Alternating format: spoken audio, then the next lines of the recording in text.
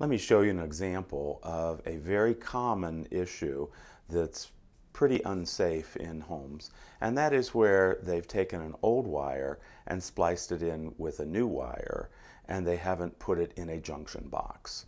So here's an example of the original wiring of the house spliced into modern generation Romex using appropriate wire nuts, but still it should be in a junction box with a cover on it so people cannot touch it or become electrocuted. So again, anytime we are splicing wires together, not only should we have wire nuts, we should also have a junction box with a cover over it.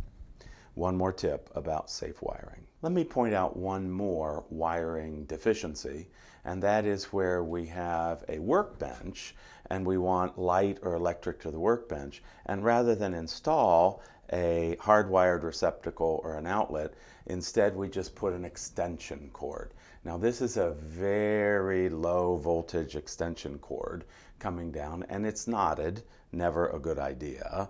And then it runs over here to a light on the workbench, which is actually servicing multiple outlets.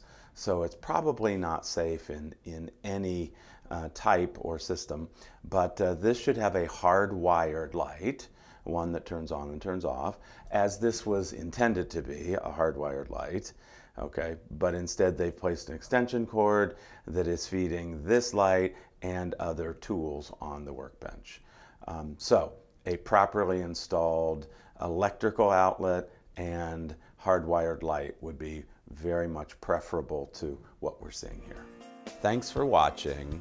If we can be of help, call Carleton Realty at 614 891 0000 or visit us online at carletonrealty.com. Click subscribe so that you'll be notified when new videos come out.